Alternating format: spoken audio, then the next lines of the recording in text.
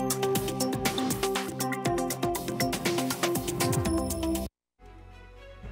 Olá, estamos em contagem regressiva para o Evangelizar é Preciso Fortaleza, que acontece neste sábado no aterro da praia de Iracema, a partir do meio-dia, o maior evento católico do Brasil. Padre Reginaldo Manzotti desembarcou na capital cearense nesta quarta-feira e foi recebido no Aeroporto Internacional de Fortaleza por uma multidão calorosa. Carinho e respeito deste povo tão amado e acolhedor de Fortaleza, do Ceará um estado que abraça há 16 anos o Evangelizar é Preciso. O evento, que integra o calendário oficial de eventos do estado do Ceará desde 2015, tem uma grande infraestrutura montada para atender o público que vem de todo o Nordeste e de várias regiões do Brasil. O Evangelizar é Preciso Fortaleza chega à sua 16ª edição. A estrutura já está praticamente montada e até sábado tudo vai estar pronto para o maior evento católico do país. Você vê agora a imagem linda do aterro da praia de Iracema, onde sábado, a partir do meio-dia, o Evangelizar é Preciso acontece. Mais de 1.300 pessoas se reuniram.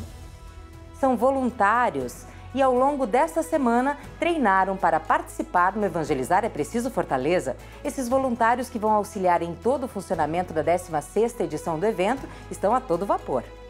Lembrando que também teremos ambulantes e itinerantes e fixos foram cadastrados pela Prefeitura de Fortaleza para trabalhar no Evangelizar Fortaleza.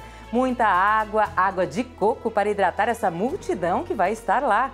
E pelo décimo ano consecutivo, o Centro de Hematologia e Hemoterapia do Ceará, o EMOSSE, da Secretaria da Saúde do Estado, renova a parceria com Evangelizar é Preciso Fortaleza.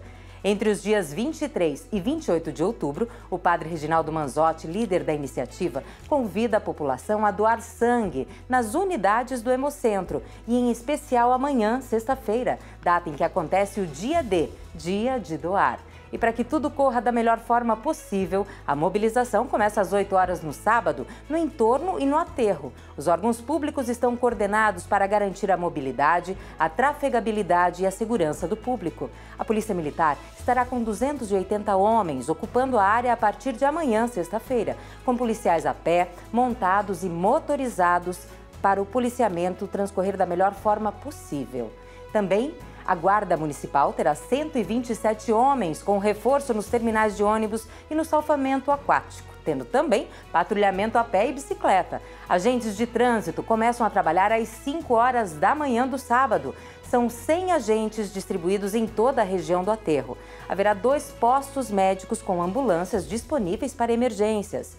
E antes de encerrar nosso boletim, daqui a pouco começa a coletiva de imprensa com o padre Reginaldo Manzotti, na Faculdade Católica de Fortaleza. Acompanhe nossa programação, que vai trazer tudo sobre Evangelizar é Preciso em Fortaleza. O 16º Evangelizar Fortaleza é uma realização da Associação Evangelizar é Preciso, Arquidiocese de Fortaleza e TV Jangadeiro, com o apoio da Regional Nordeste 1 da CNBB. Tchau e até a próxima!